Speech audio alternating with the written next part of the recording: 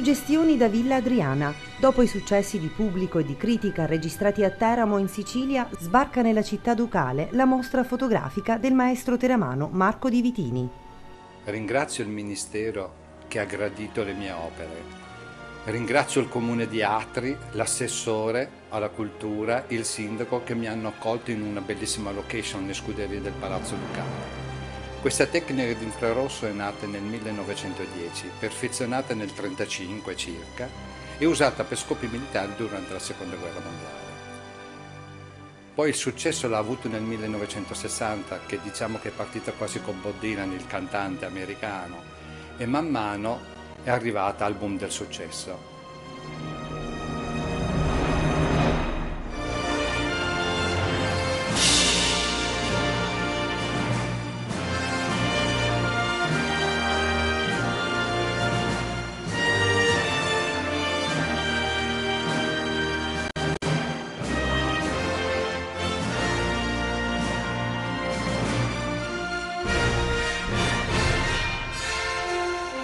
Una mostra dedicata alla dimora estiva dell'imperatore Adriano, il cui nonno nacque proprio ad Atri.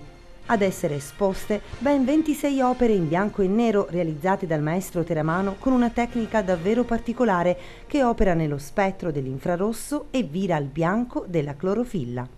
Sì, io sono entrato a Villa Adriana, ho scelto Villa Adriana perché è una delle ville romane, la più grande al mondo come villa romana e poi nel lato architettonico la parte più importante assolutamente che è Villa Romana.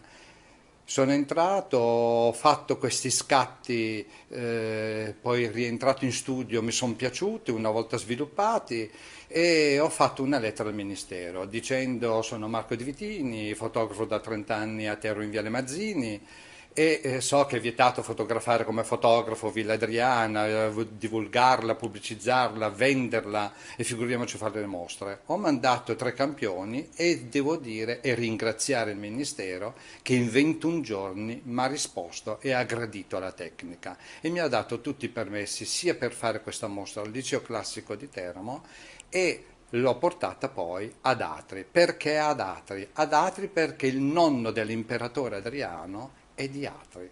Una cittadina splendida, piena di vita. Io quando chiudevo la mostra a mezzanotte o a luna di notte, mentre scendevo dal corso Adriano, in piazza era piena di vita, il contrario di Teramo.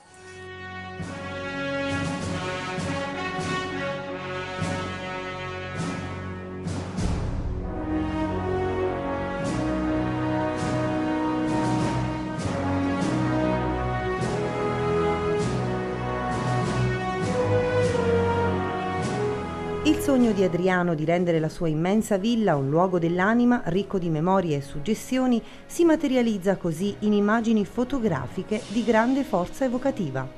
Io la uso da 30 anni, mi piace vedere questi chiaroscuri, la parte della clorofilla con gli che viene bianca, la parte fredda che sono i cieli e l'acqua che viene nera. Amo questi contrasti forti, giustamente perché è una cosa unirica e mi piace questa parte diciamo spettacolare di questi chiaroscuri.